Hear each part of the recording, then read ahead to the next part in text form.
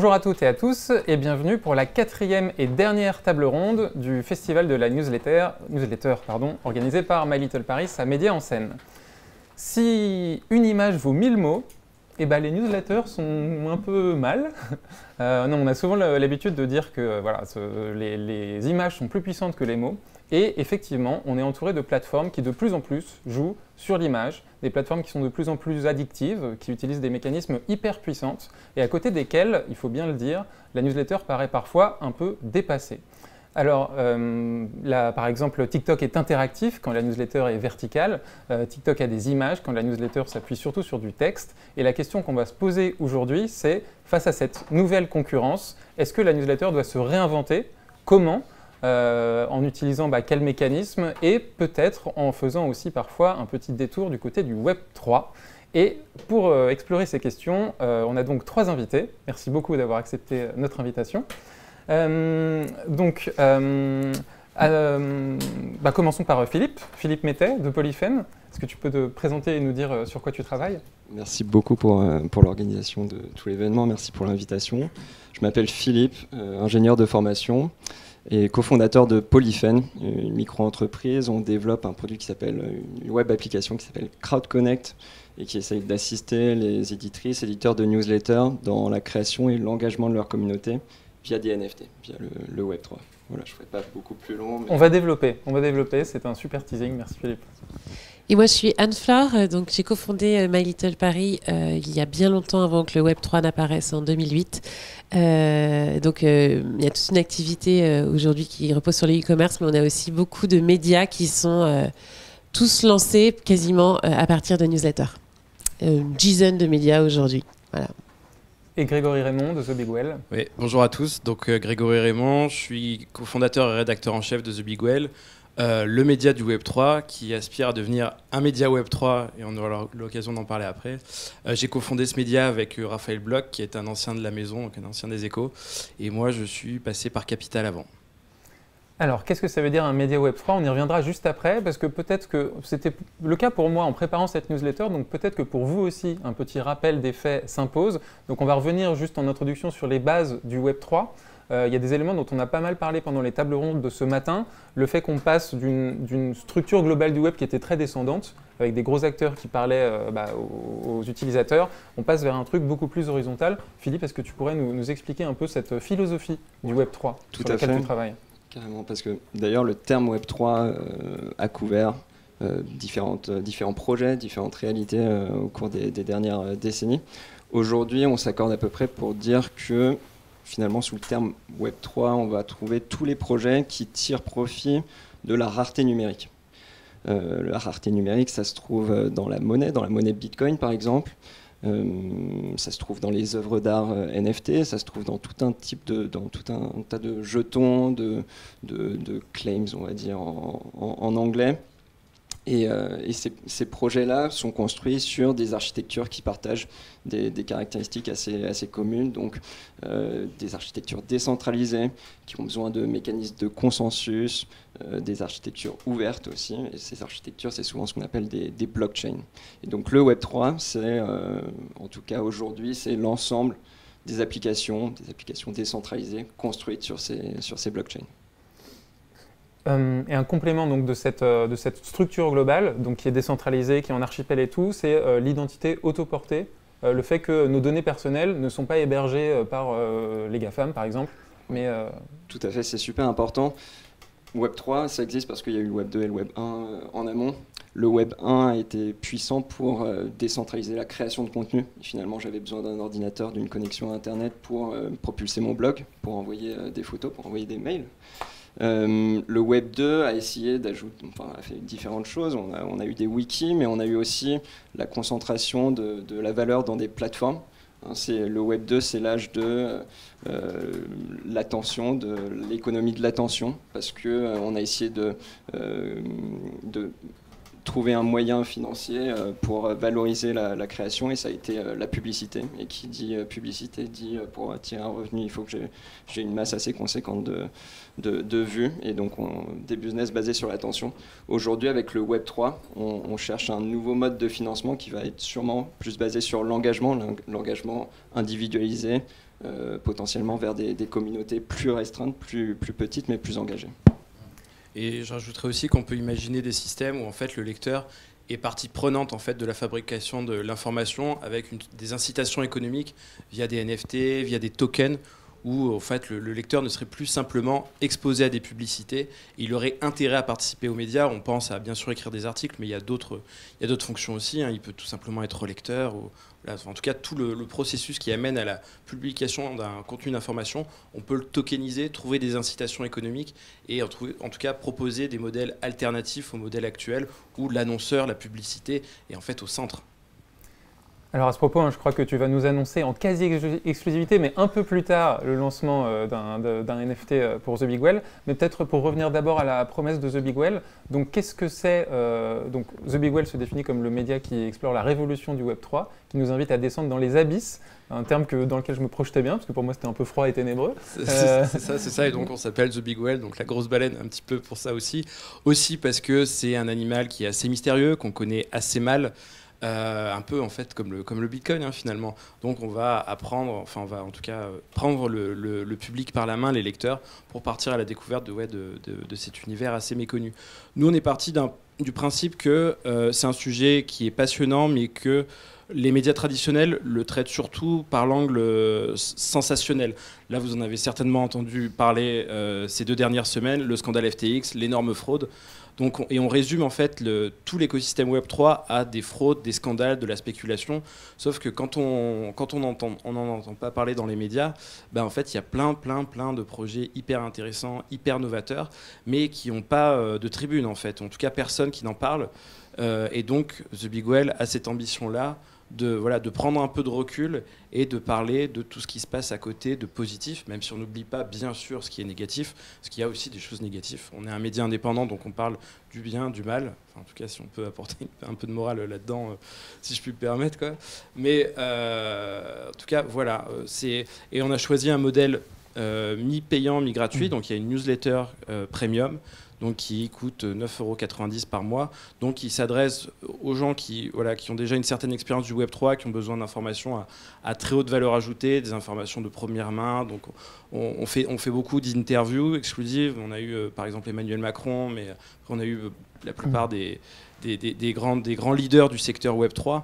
Euh, et d'ailleurs, pour la petite histoire, on a eu SBF, donc le fondateur de FTX, environ deux semaines avant le, avant le drame.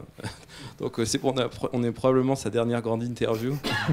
Donc on pourra mettre ça dans les livres d'histoire. En tout cas, je pourrais raconter ça à mes enfants. Euh, voilà, mais on publie aussi des grands reportages, par exemple. Ces derniers mots furent prononcés sur The Big Well. Eh, exactement. Et, et, on espère bientôt devant la police. Quoi, mais... Mm.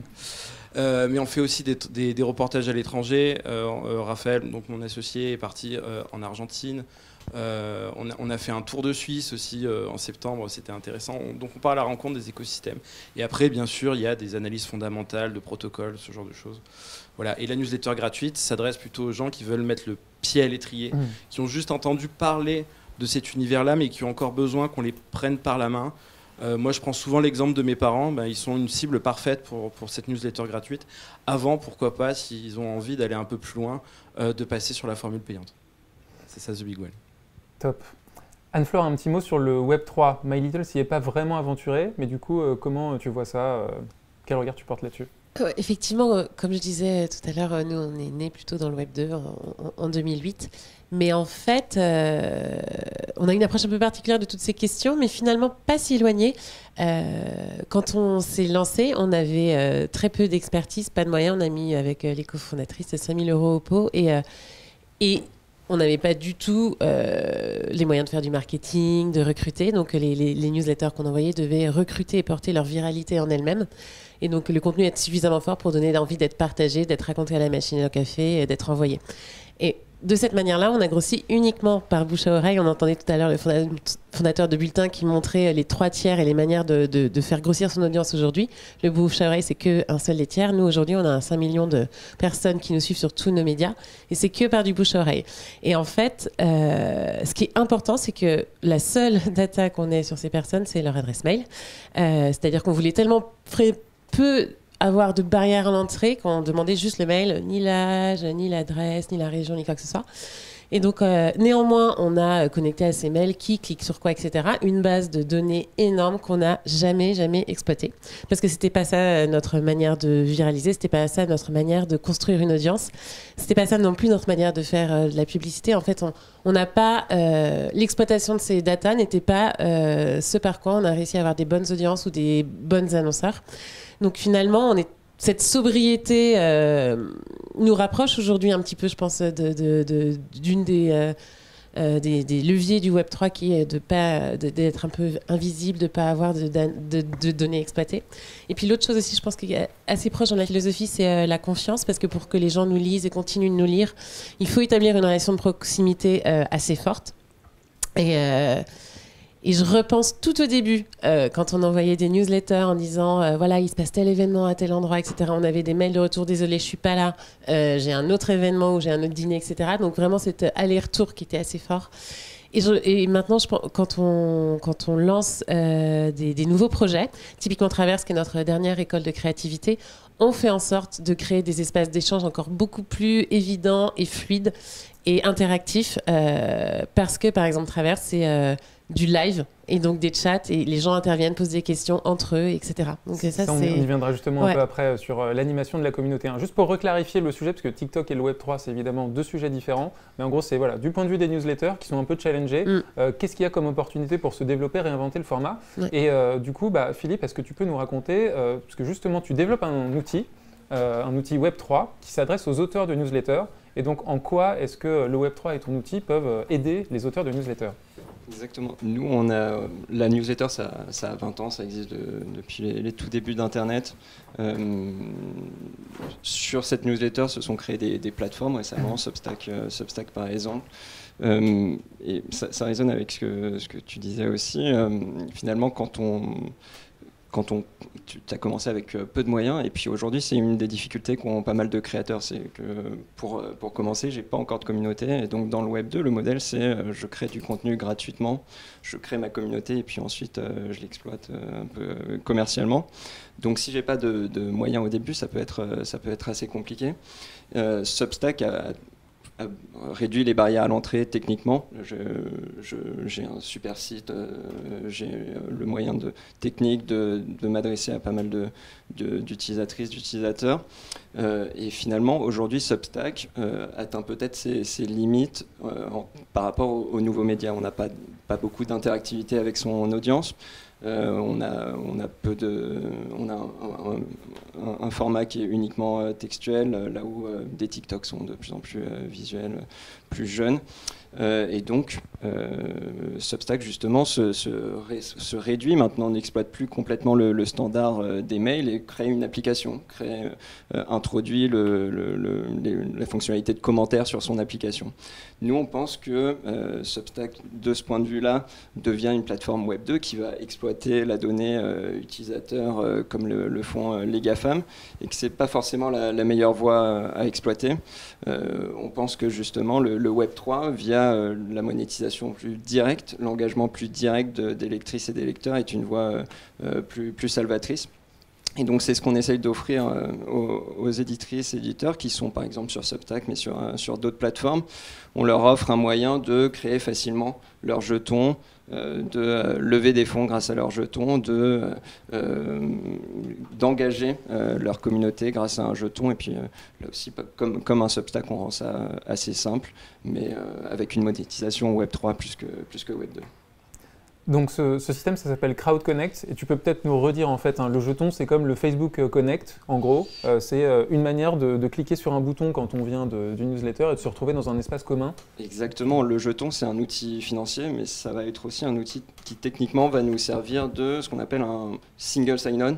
Donc aujourd'hui, vous, vous connectez souvent sur plusieurs plateformes grâce à votre adresse Google ou votre compte Facebook, ça c'est du single sign-on, j'utilise un compte pour me connecter sur différentes plateformes. Le problème, c'est que je suis dépendant de ces plateformes-là. Euh, je suis dépendant de, certaines intégrations. Aujourd'hui, on peut utiliser un jeton Web3 qui dépend d'aucune plateforme, qui dépend uniquement de, réseaux totalement ouverts, euh, décentralisés pour avoir ce, single sign-on. Et donc moi, en tant qu'éditrice et éditeur, je vais euh, vendre un jeton ou fournir un jeton à ma communauté. Et ce jeton va nous servir à toutes et tous à nous retrouver sur toutes les plateformes qui vont me permettre d'animer la communauté, sur Discord, sur Zoom, sur, euh, sur n'importe quel service. Et donc j'ai un single sign-on communautaire en fait. C'est mon jeton communautaire. On se retrouve tous grâce à, grâce à ce jeton. Donc on sort du single sign-on des GAFAM pour avoir un single sign-on indépendant sur la blockchain. Euh, voilà. Et juste pour donner un autre exemple, parce que nous on a une stratégie qui est assez similaire. Quand euh, nos abonnés qui auront le NFT qui va bien, qui sera dans leur wallet et le, wallet qui est lui-même dans le navigateur euh, internet. voilà, ils ont juste à se connecter sur le site. Ils n'ont pas besoin de mettre euh, identifiant mot de passe. Le wallet dira qu'il y a le, NFT et donc ils auront accès aux contenus spéciaux auxquels ils sont abonnés directement. Et nous, voilà, on va pas du tout collecter de données. Et ce qui est, je trouve que c'est vraiment intéressant de ce qu'on peut faire à ce niveau-là.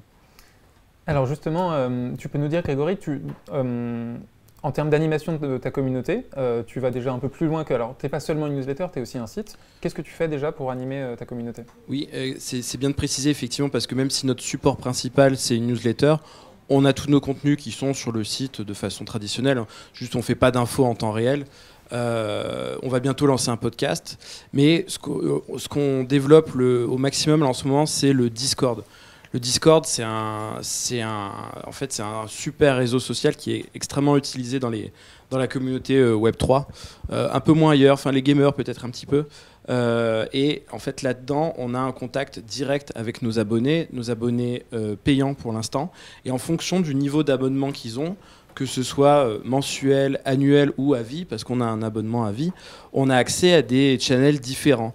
Et voilà, plus, plus, plus l'abonné est engagé, notamment bah, les, gens qui ont choisi de s'abonner à vie, euh, ils ont un accès extrêmement privilégié euh, à, la, rédaction. Euh, donc voilà, on peut, parler de façon très très proche. chaque lundi à 18h30, j'organise une interview en live sur Discord, voilà, tous les, tous les jeudis, tous, les, pardon, tous les lundis, tous les jeudis sur deux, je reçois un porteur de projet que je vais un peu challenger. Euh, qui va venir en fait, euh, enfin, en tout cas, on va voir ce qu'il a dans le ventre parce que voilà, il y a beaucoup de gens qui sont à la recherche de nouveaux projets dans lesquels investir et tout machin. Il y a un peu tout et n'importe quoi. Donc voilà, nous on les fait passer sur le grill.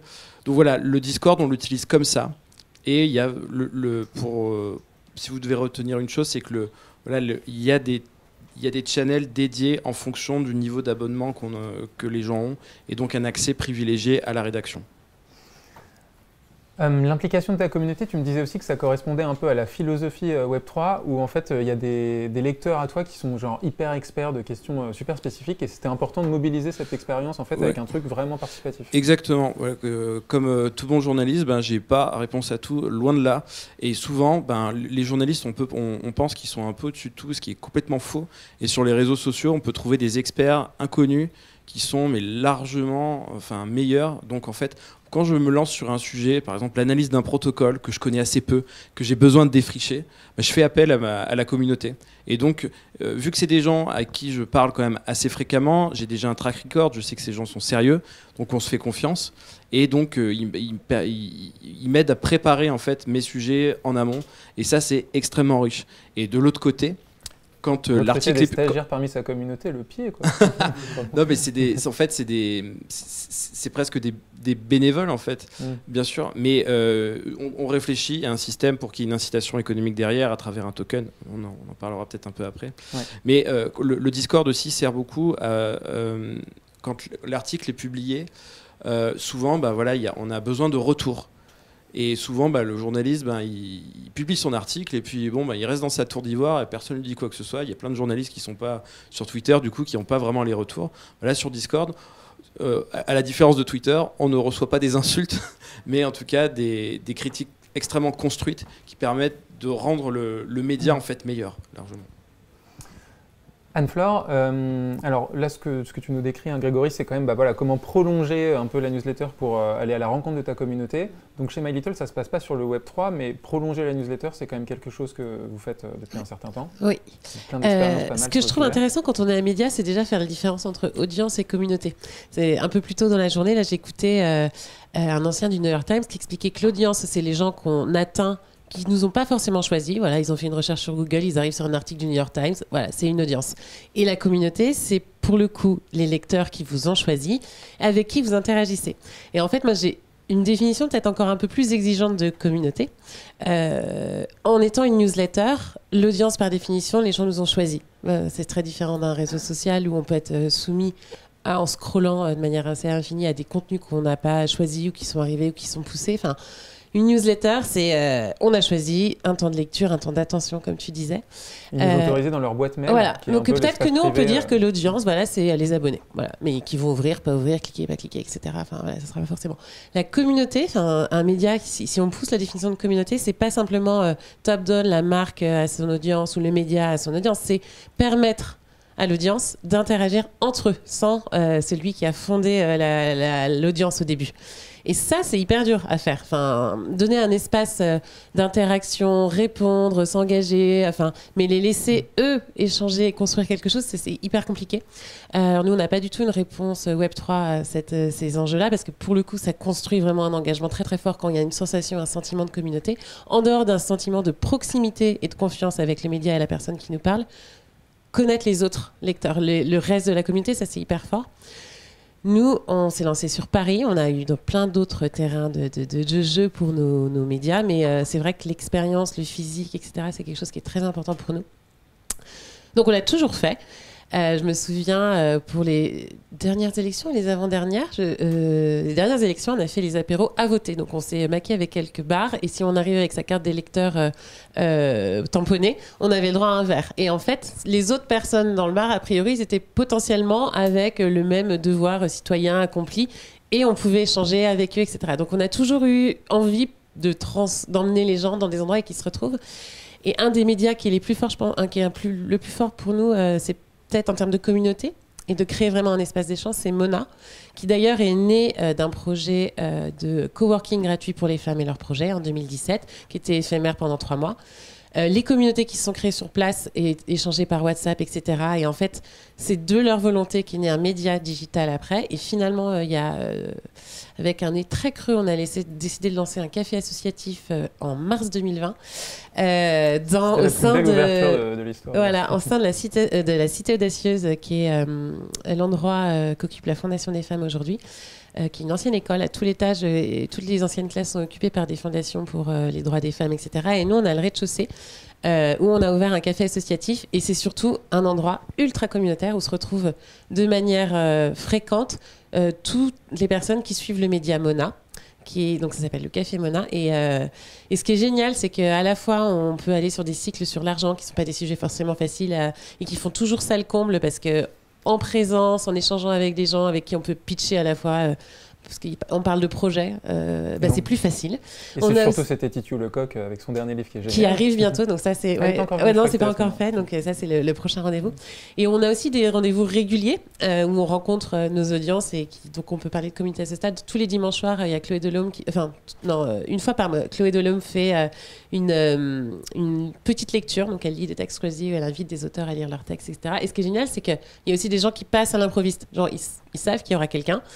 Et euh, ils suivent le média, ils sont déjà venus, mais surtout, ils se sont pas inscrits, ils passent, et puis voilà, ils viennent échanger avec les autres. Et ça, je pense que euh, c'est pas forcément facile, hein, euh, et c'est très physique, expérientiel, et, et voilà, mais c'est vraiment le signe de communauté très forte pour des médias de pouvoir s'ancrer comme ça dans le terrain. Donc ça c'est un bon exemple d'incarnation physique. Euh, il y a aussi Traverse, donc ouais, ce que je mentionnais tout à l'heure. La version digitale de. Ouais, qui est... bah, en fait là ce qui est génial sur Traverse c'est que tous les cours sont, d'abord en live, donc on peut euh, vraiment interagir avec le professeur dans le chat. Mais c'est ce qui se passe surtout dans le chat, c'est que les gens interagissent entre eux. Et d'ailleurs limite ils se reconnaissent, ils disent coucou euh, etc. Enfin ils ont des surnoms de, sur leur Zoom un peu voilà particuliers parfois.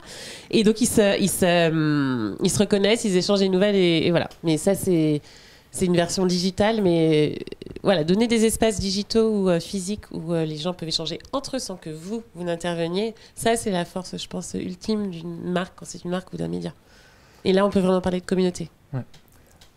Philippe, sur le Web3 avec tes outils, il y a aussi, enfin, c'est un outil qui potentiellement, enfin, peut être très créatif. Enfin, en gros, on peut imaginer d'associer des communautés et d'imaginer aussi des, trucs qui n'existent pas. Enfin, est-ce que tu as des exemples, voilà, de possibilités en tête ou des, des exemples de choses que que, tu as vu passer qui sont intéressantes sur le sujet? Tout à fait. J'enchaînerai avec, euh, tu commençais en disant l'important, enfin c'est un super retour d'expérience et on voit l'importance de segmenter son audience entre l'audience, euh, ta communauté et puis maintenant on parle même de, collectif. Il y a euh, Carlos Diaz là, une, une, une, personnalité de l'écosystème qui, qui, met en valeur le, le, collectif où on a encore une notion d'engagement encore plus marquée. L'audience elle passe par là. Euh, elle a accédé au, contenu, euh, on ne sait pas trop comment. Euh, la communauté, elle se retrouve, elle est dans le chat, on se reconnaît, on parle entre, entre nous, on est au-delà du contenu. Et puis le collectif, il a envie de participer, il est peut-être engagé socialement, financièrement, en tout cas, il y a un niveau d'engagement nouveau. Et donc avec les Web 3, avec le Web 3, ce qu'on a, c'est qu'on peut euh, smart contracter, on peut inclure dans la technologie, dans la blockchain, des règles qui vont nous permettre d'envisager tout, type de, collaboration, tout type de redistribution euh, des flux ou, euh, ou, du contenu. Et donc pêle-mêle, ce qu'on peut faire, tu parlais de, mettre le pied à l'étrier, toi, tes lecteurs, lectrices, finalement, quand on démarre, on, a, on, a, on peut avoir le, burn-out de la création, on peut avoir euh, des, barrières à l'entrée, et eh bien euh, redistribuer les flux entre quelqu'un qui, a déjà une petite communauté et quelqu'un qui, commence, c'est quelque chose qu'on va faire de manière totalement transparente, euh, prévisible, grâce aux jetons. J'ai deux jetons de communauté, on, inscrit sur la blockchain les règles qui vont régir la, redistribution, et donc quand on collabore, quand on crée un contenu ensemble, on, sait, on sait ce qui va euh, advenir des, fonds. Il euh, y, a mille exemples à, à Attends, donc ça, très concrètement, par exemple, imaginons deux auteurs de newsletter qui ont un projet commun. Enfin, Qu'est-ce que ce serait euh... Grégory interview, interview une personnalité de l'écosystème. Euh, finalement, c'est un travail commun. On va d'une part pouvoir annoncer l'événement à ces deux communautés. Les deux communautés vont pouvoir, je vous parlais de, s'authentifier sur différentes plateformes. Bah là, j'ai euh, finalement, j'ai pas besoin de, de 1000 configurations. J'ai mes deux communautés qui vont se retrouver sur le Discord en commun euh, parce que chacune des communautés s'est authentifiée grâce à son jeton. Et puis ensuite, si on génère des revenus, bah, on va pouvoir régir simplement telle part des revenus revient à, la personne A et puis l'autre à la personne B. Euh, c'est des modèles comme ça. En fait, tout est envisageable. Là, on est, le Web 3, c'est quand même un, terrain neuf. Et puis maintenant, une fois que les problématiques seront clairement identifiées, une fois qu'on saura ce qu'on veut faire, eh ben, on, on aura l'outil pour le faire. Moi, personnellement, je terminerai là-dessus. J'ai l'impression qu'un des problèmes de la, de l'économie de la création aujourd'hui, c'est qu'on a une difficulté à, trouver des revenus pour euh, une classe moyenne. On n'arrive pas à faire émerger une classe moyenne. On a des, grands médias qui ont réussi. Euh, classe moyenne des créateurs de contenu Exactement. Hmm. C'est difficile d'avoir une, mobilité, une ascension euh, dans, l'économie de la création. Et donc, si on a identifié ce problème et qu'on veut le, combattre collectivement, et eh ben on a un outil pour créer des règles et donc il suffit de designer maintenant ces règles euh, et de les mettre en place. Juste pour résumer, donc par rapport à un projet de deux newsletters classiques qui aurait besoin de fusionner les bases, de créer un nouveau segment ou voilà, et ensuite d'imaginer des trucs différents, là en fait tout peut être automatisé, on peut créer des, un, flux commun très rapidement. Exactement, ça dépend pas d'une plateforme et c'est beaucoup plus simple. Deux, newsletters qui voudraient s'associer et créer du contenu ensemble, ce serait possible. Par contre, l'exemple de si je réalisais l'interview de quelqu'un et qu'il fallait partager les revenus euh, de ça, là ça poserait des, des problèmes évidents de conflit d'intérêts.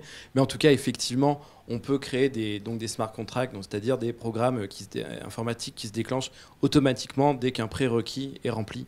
Et donc là, bah, ça serait euh, par rapport au succès de la newsletter. Alors Grégory, je crois que justement tu as quand même une petite exclue sous, le coude à nous annoncer euh, aujourd'hui, puisque The Big Well euh, lance un a lancé un projet ce matin. Ouais, on a informé nos abonnés fondateurs ce matin qu'on allait leur envoyer un NFT donc d'ici vendredi. C'est voilà, on fait ça avec une grande modestie parce que voilà, c'est notre premier pas concret dans le Web 3. Donc voilà, on n'arrive pas avec nos gros sabots en disant on va tout révolutionner. Non, on apprend pas à pas avec notre communauté qui va nous faire des retours.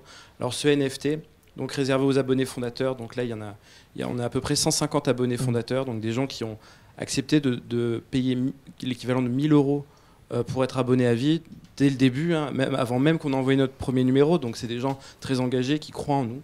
Euh, donc ces gens-là vont recevoir un NFT unique. Donc ils n'auront euh, pas à l'acheter, en fait, ils l'ont déjà payé sans le oui, savoir. voilà, ils, vont, ils auront juste à renseigner leur adresse, leur wallet crypto pour le recevoir. On va en mettre en vente 150 autres aussi. Et après, cet abonnement fondateur sera terminé. On ne va pas proposer des abonnements fondateurs pendant 10 ans. Euh, en tout, il y aura plus de NFT. Mais les, on va émettre 2022 NFT donc pour 2022, mais il n'y en aura que 300 qui auront une vraie valeur euh, utilitaire, vraiment très importante.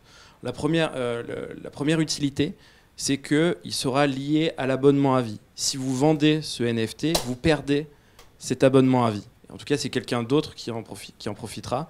Vous pouvez le vendre au prix que vous voulez, à, l'équivalent d'un euro ou à 10 000 euros. Enfin bref, c'est le marché qui, fera, qui fera sa loi. Donc vu qu'on va bientôt terminer ces abonnements en vie, peut-être que voilà, il peut, ça peut prendre de la valeur parce que euh, si vous êtes titulaire de ce NFT, en plus de l'abonnement, vous allez pouvoir accéder à plein d'événements extrêmement privés qu'on va organiser avec The Big Well. Donc ça veut dire rencontrer des, stars de l'écosystème crypto, des grands entrepreneurs, qui soient français, européens, euh, voilà, euh, internationaux, euh, souvent dans des, lieux sympas.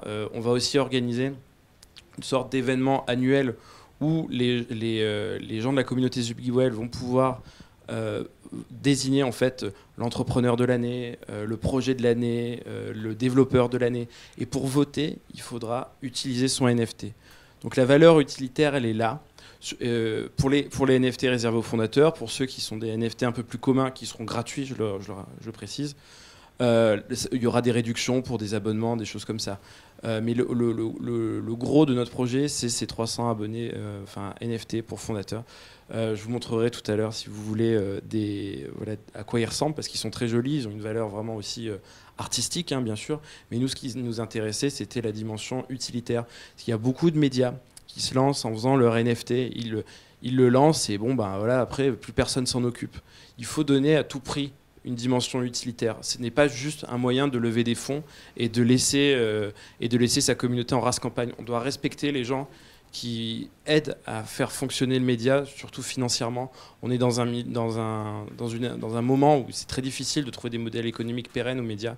Donc là, les NFT sont une solution pour fédérer une communauté et lui donner des droits dans la construction d'un média, mais il faut à tout prix entretenir cette communauté, lui offrir des accès, euh, enfin en tout cas à des événements très, très régulièrement. En tout cas, voilà, donner aux gens une vraie raison d'avoir ce NFT et d'être fier d'être membre de la communauté The Big Well. Donc consolider la communauté et aussi avoir un mécanisme qui soit accessible, euh, parce que du coup, euh, on ne s'engage pas un peu à l'aveugle et on peut... Euh, Bien sûr, on est, dans, on est dans un univers qui est complètement décentralisé, donc voilà, les, les gens font, enfin, font ce qu'ils veulent. Philippe, tu disais aussi que enfin, prolonger la newsletter, enfin connecter la newsletter à d'autres dispositifs, c'était aussi une manière de rajeunir la cible. je crois que tu as des chiffres là-dessus hyper intéressant. Tout à fait. Je les ai eus un moment, j'espère que je ne vais pas me ah. tromper. mais euh, en effet, le, monde de la newsletter, c'est euh, une audience assez âgée, en tout cas l'audience qui euh, s'abonne et qui paye pour accéder à des newsletters. En Europe, je crois que la moyenne d'âge est au-delà de 35 ans. Quand on compare ça. Oui, la, presse payante, c'est presque 50, je crois, la moyenne. Oui, ouais, ouais. Presse payante digitale. Et donc, quand on le compare peut-être à d'autres formats, d'autres réseaux sociaux, ça reste, euh, ça reste âgé. Euh, et donc, qu'est-ce que ça veut dire? Ça veut dire qu'on peut s'inspirer d'un TikTok pour voir euh, ce, qui, ce qui plaît aux jeunes et ce qu'on ne retrouve pas dans les newsletters. Ça veut dire que toi, ta cible Web3, rien qu'en utilisant un outil Web3, on rajeunit sa, son audience. Donc, finalement, si on a envie de rajeunir l'audience des newsletters, c'est un, un, bon conseil finalement de, regarder ce qui marche sur TikTok, de, de, regarder pourquoi les jeunes sont intéressés par le Web3 et puis de voir ce qu'on peut faire avec. Anne-Fleur, chez My Little, euh, il y a une communauté bah, qui est euh, assez ancienne, forcément vu l'historique du média, et qui reste hyper engagée. Euh, et du coup, que, comment est-ce que tu travailles le rajeunissement de, la cible? Alors, clairement, c'est un des enjeux de tout, tout, média, hein, rajeunir sa cible de plein de manières différentes. Euh, nous, on a, on a plutôt lancé d'autres médias en fait pour cibler, euh, parce que peut-être que nos abonnés ont un peu vieilli aussi avec nous. Je trouve pas que ce soit inutile d'avoir une, une, cible de plus de 35 ans. Euh, ça peut aussi avoir un, un, avis, mais en tout cas, ce qu'on a surtout fait, c'est qu'on a lancé Tapage et Boldy au départ sur des canaux qui étaient à l'époque, euh, ceux qui étaient très privilégiés par euh, les 15-25 ans, qui étaient les apps. Donc, c'est euh, la grande époque des applis en 2013-2014. On avait même Tim Cook qui était venu visiter nos bureaux parce qu'on avait lancé une dizaine d'apps. donc ça, c'était le premier moyen. Après, on est tombé sur les réseaux sociaux. Après, en fait, on est revenu pour ces, pour ces médias-là qui sont tapés et Boldy. On est revenu sur la newsletter parce que les réseaux sociaux, quand même, on dépend fondamentalement d'un algorithme et d'une plateforme qui n'est pas la nôtre et sur laquelle on a bah, pas, pas, le moyen, donc c'est un peu... Euh, qui peut changer d'une semaine à l'autre. Voilà, euh, et les algorithmes, c'est difficile à dompter. Euh, donc on a aussi des newsletters qui vont finalement chercher des cibles beaucoup plus, plus jeunes que celles de, de, de la moyenne dont on parlait tout à l'heure à l'instant. Et, et on, on, avait mis TikTok dans le, le sujet de, de, cette, de cette table ronde. Euh, on est aussi sur TikTok euh, et c'est un univers assez particulier. Un peu comme tous les réseaux sociaux, je trouve que euh, déjà on en sort difficilement. Alors qu'une newsletter, bah, il y a une fin. Donc après, il n'y a pas d'addiction à une newsletter. On va pas passer des heures à scroller sur une news, etc. Euh, TikTok, c'est difficile d'en sortir comme tous les autres réseaux sociaux. Euh, par ailleurs, on suit vraiment plus du tout les gens, euh, enfin, les contenus qui sont poussés. Alors, pour le coup, c'est plus du tout ceux qu'on suit forcément. C'est l'algorithme qui choisit pour vous. C'est pas vous qui avez choisi d'être exposé à tel ou tel contenu, même si l'algorithme est censément bien fait. et finalement, sur TikTok, on travaille pas sa communauté. C'est la beauté du truc, c'est-à-dire qu'on peut avoir 20 000, abonnés, 20 000 abonnés et faire une vidéo à un million de vues, c'est génial. Mais en fait, les vidéos, on les fait pas euh, pour les 20 000 qui sont abonnés à, vous euh, sur TikTok. On les fait pour la communauté TikTok. En fait, la seule communauté qui fonctionne vraiment sur TikTok, c'est celle de TikTok. C'est-à-dire qu'il faut suivre les trends de TikTok. Il faut être hyper à l'écoute de tout ça. Donc, pourquoi pas? Mais c'est vrai que là aussi, il y a... Enfin, il y a un peu une déperdition euh, quand on veut avoir un lien un peu direct. Là, c'est plus la communauté TikTok en général qu'on travaille plutôt que la communauté de Boldy sur TikTok ou la communauté de Tapage sur TikTok.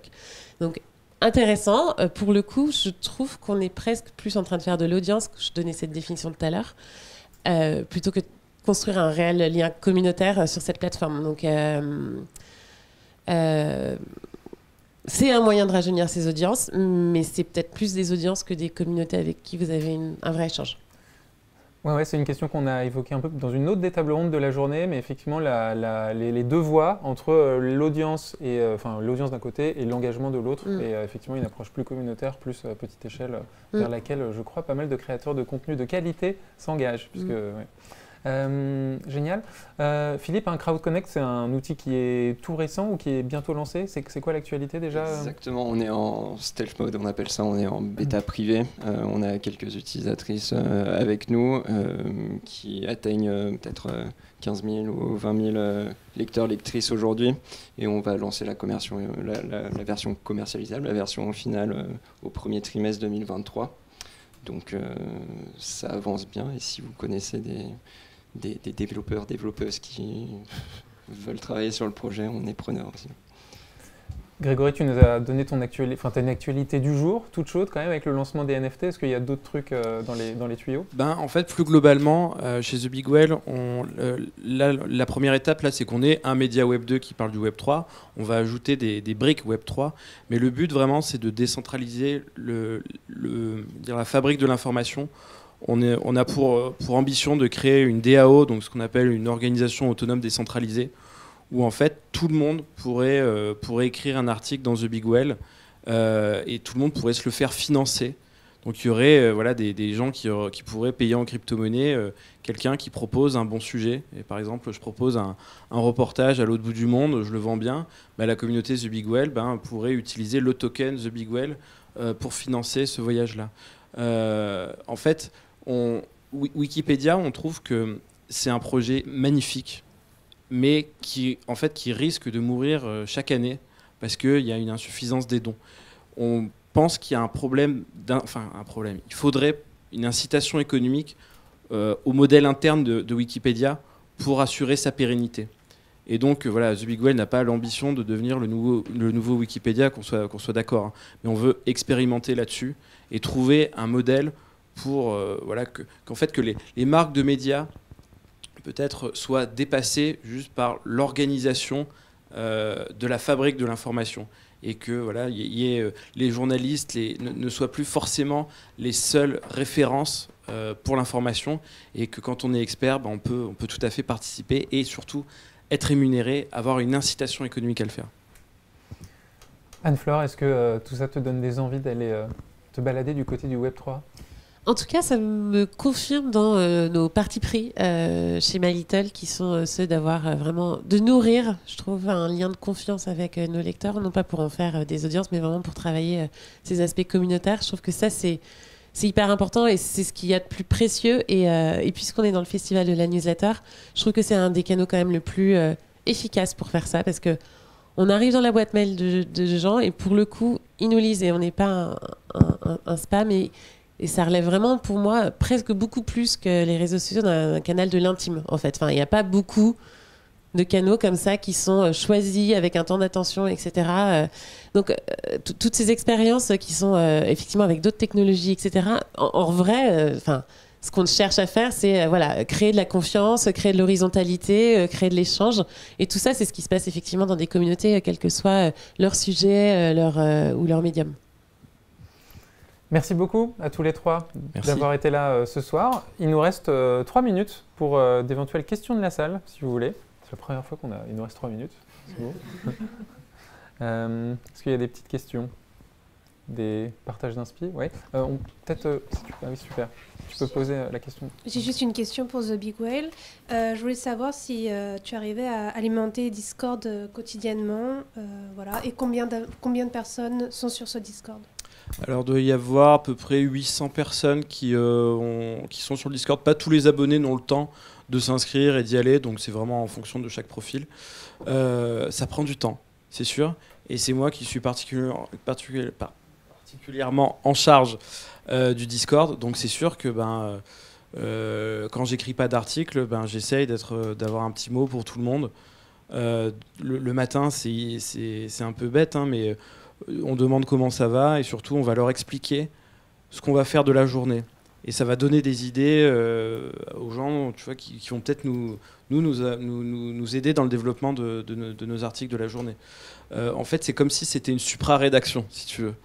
Euh, une méta-rédaction, enfin bref, on, dit ce qu'on veut. Mais voilà, donc il va y avoir cette discussion en permanence. Et nous, ça nous arrive de subir des raids, par exemple, sur les réseaux sociaux. Parce qu'il y a des, euh, bah voilà, il y a des communautés d'influenceurs euh, voilà, qui, qui aiment pas trop euh, qu'on enquête sur eux, ce genre de choses. Donc ça nous arrive voilà, de, subir des raids. et bien par exemple, le, Discord sert un peu de sas de décompression. C'est important de se sentir soutenu par son écosystème quand, voilà, quoi, quand on passe des, des, sales moments sur Twitter, ça, ça arrive.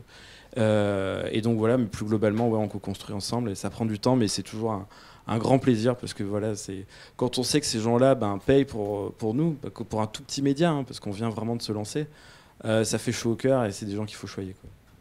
Merci. Une dernière question? Eh ben, on est à 59, c'est totalement honorable, je pense. Euh, j'ai un peu l'obsession de la minute en ce moment, je voulais jusqu'à 17, mais 16h59, c'est totalement décent. Merci beaucoup d'avoir été là ce soir. Merci. Et merci aussi de, à vous de...